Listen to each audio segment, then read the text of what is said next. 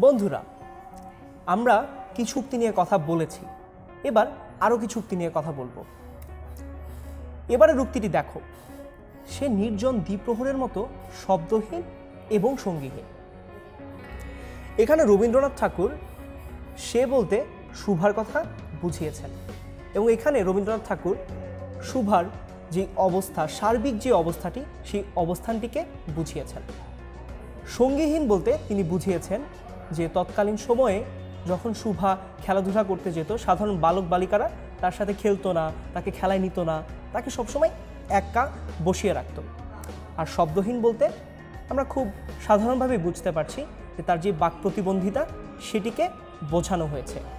এখন নির্জন দ্বীপ্রহর বলতে কি বোঝানো হয়েছে? কেন নির্জন দ্বীপ্রহরের মতো একটা রূপক রবি ঠাকুর ব্যবহার করলেন?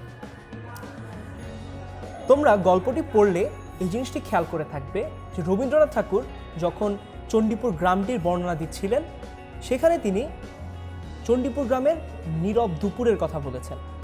সেটি কীভাবে বলেছেন? তিনি বলেছেন যে সেই সময়টাতে মানুষগুলো খাবার দাবার খেয়ে কাজ শেষ করে ঘুমোতে যায় এবং বিকেল পর্যন্ত তারা বের হন না। ঠিক সেই সময়টি হচ্ছে নির্জন দ্বীপ্রহর এবং রবীন্দ্রনাথ ঠাকুর বলেছিলেন সেই নির্জন দ্বীপ্রহরটি সম্পূর্ণ বিজন মূর্তি ধারণ করত। তখন শুধুমাত্র প্রকৃতিতে নদীর কলকল কলধ্বনি বা হচ্ছে মাঝির গান বা পাখির ডাক ছাড়া আর কিচ্ছু শোনা যেত না। ঠিক শুভাকেও তিনি নির্জন দ্বীপ্রহরের সাথে তুলনা করেছেন। শুভার যেই শব্দহীন অবস্থা এবং কোনো বন্ধুহীন অবস্থা সেটি বোঝানোর জন্য।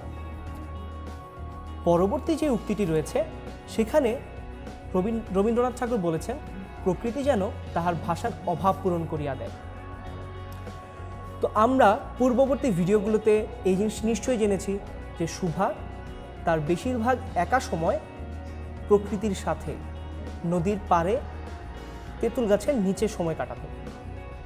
এখন শুভার কাছে এই জিনিসটি মনে হতো যে প্রকৃতি তার হয়ে কথা বলছে এবং প্রকৃতির যে কথা বলার ভাষা, সেটা ঠিক তারই ভাষা। অর্থাৎ বোবার ভাষা। কেননা, প্রকৃতির কথা বলার আসলে কোনো মাধ্যম নাই। সে আমাদের সাধারণ মানুষগুলোর মতো কথা বলতে পারে না। কিন্তু তাও তোমরা খেয়াল করে থাকবে যে, খুব সুন্দর কোনো প্রাকৃতিক দৃশ্য যখন আমরা দেখি, তখন মনে হয় যে, প্রকৃতির সাথে আমরা কানেক্টেড প্রকৃতির সাথে আমাদের একটা যোগাযোগ স্থাপিত হয়েছে। ঠিক সেই জিনিসটি শুভাও ফিল করতো, শুভাও অনুভব করত। তার মনে হতো, এই যে নদীর কলধ্বনি রয়েছে বা মাঝির গান রয়েছে, নানা ধরনের পাখির ডাক রয়েছে। এই জিনিসগুলো তার সাথে কথা বলছে এবং তাদের নিজেদের ভাষায়। এবং শুভার একাকিত্বের সঙ্গী হিসেবে শুভার মনে হতো যে প্রকৃতি তার ভাষার অভাবটি সুন্দর মতো পূরণ করে দিচ্ছে।